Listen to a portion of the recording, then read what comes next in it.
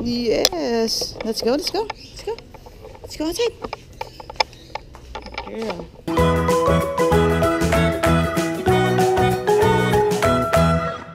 Hi there! Thank you for checking out my channel. Thank you for clicking on this video. This video is in response to one of you guys who asked a question regarding potty training. So, very important yun for dogs uh, na maayos sa potty training nila. Uh, and it's actually fairly easy naman. So, the person who asked me a question, I'm going to put her name up here, uh, told the story na yung aso niya daw, uh, who is already one year old, still pees and poops inside the house. Actually, gusto pa niya sa couch nila. And uh, actually, I want to share maybe a few tips on how you can stop that behavior. Uh, si Hailey in particular doesn't do that anymore. Um, well, she never pooed inside the house or in anything na ayaw namin. Meron lang a couple of accidents regarding pee kasi uh, when they are puppies, very excitable sila. So pag may nakita siya na na, na person na na-miss niya or may uh, loud noise or anything like that, may mga ganong, a few accidents like that. But I'm going to share to you, advice ko sa, sa'yo, sa inyo, if you're, e- e- even if uh, bago yung puppy ninyo or you already have a dog. Uh, it's not true that you cannot teach an old dog new tricks. It's very important for you to keep uh, training them para lang mas maayos. Okay? Um, so here's my advice. Number one, make sure na yung spot na sa bahay ninyo kung saan lagi nagpipi or nagpupu yung puppy ninyo na ayaw ninyo na doon siya is uh, is clean. At pag sinabi natin clean, hindi lang na sinabon, make sure na ginamitan nyo ng deodorizer kasi ang mga puppies or ang mga dogs, they poo and pee sa isang spot na naaamoy nila na meron ng pee or poo doon. So, if uh, you are um, asking kung kunyari anong gagawin, yung couch kung saan lagi siya nagpipi or nagpoo, make sure that you have it cleaned, make sure that you have it um, deodorized para ma wa- mawala yung amoy nung pee niya para hindi niya na ulitin.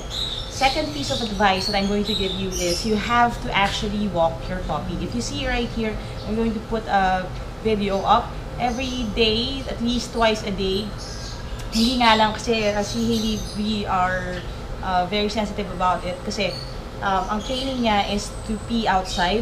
So we make sure na meron siyang uh, opportunities to do that. Um, we have to make sure na may time siya spent outside. Kasi kung hindi siya ilalabas, uh, kahit na ang dogs don't like peeing or pooping inside, kung hindi siya ilalabas regularly, wala siyang choice kundi mag-pee or mag-poo doon. So, si Hailey actually goes out of the house para bigyan siya ng opportunity to poop and pee multiple times during the day kasi 8 months pa lang siya, baby pa siya. And uh, natutuwa ako kasi after a few months of doing that regularly, right now, alam niya na na hindi siya dapat mag-pee or mag-poo sa house. Nagtitiis na siya. Pero syempre, um, limited naman yung kaya niyang tiisin kasi nga baby pa siya. Um, and here's uh, something that I also do. Okay, number three, when your puppy uh, does her business or his business sa labas, make sure that you reward your puppy. Sa case ni Hailey, ang reward niya usually comes in the form of treats. Minsan treats, katulad ngayon, she just had, uh, she just did her business outside, so I gave her treats. Um, or, mas effective yung play. Uh, when she was a kid, kasi she's not that interested in food anyways, so ang gusto niya laro. So, after she does her business outside, I make sure na I touch the ball a number of times para lang mag-enjoy siya. Kasi ang, ang nasa isip niya would be, ah, nag-pee na ako, so now it's playtime. Uh, and recently, um, ang pinaka-effective na word actually sa kanya is going inside the house. Now, uh, I know that uh, iba-iba yung setup natin. In Lily's case kasi, um, I, mas sanay siya to spend her days dito sa garahe, dito sa labas ng bahay namin. And that is also for a reason, kasi nga, ang laki niya. And uh, hindi pa siya disciplined.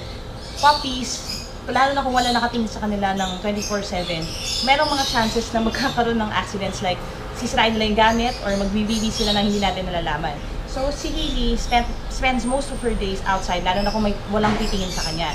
Nasa loob lang siya ng bahay kapag may taong tumitingin sa kanya. At least hanggang maging full grown siya and kaya niya na i-hold yung bladder niya. Right, babe? But here's the thing. Recently, we started uh, making this deal. Kasi ang dogs, you can actually talk to them naman. Ang deal namin is, kailangan, bago siya pumasok sa bahay, magbibibi muna siya.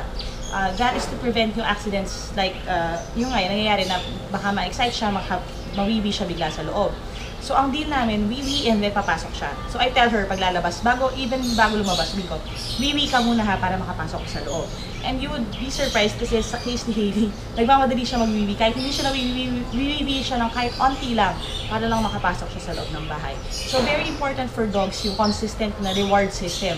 Pag meron siya namang mabuti, make sure that you commend her. Make sure na merong prize. Award yung tamang behavior niya. Sa case ni Hailey, whenever she poos or pees, I also tell her, good job, good job, babe. Uh, good job, gano'n. Uh, just to affirm na yun yung desired behavior ko. Yun yung gusto kong gawin niya. And that is how you train your dog na wag mag-pee or mag-poo sa loob. So again, recap tayo. Number one, clean out yung uh, spot ng accidents niya. Number two, you have to take your dog out regularly. Sa case ng mga puppies, ano lang yan, a couple of hours, lalo na kung kakainom or kakakain lang nila, ilabas nyo siya. Um, it may take a while um, kasi minsan naghahanap pa yan sila ng spot. Pero tiisin ninyo yan kasi it's part of being a responsible pet, pet parent. Make sure that you have time for them. Okay, number three, also reward good behavior.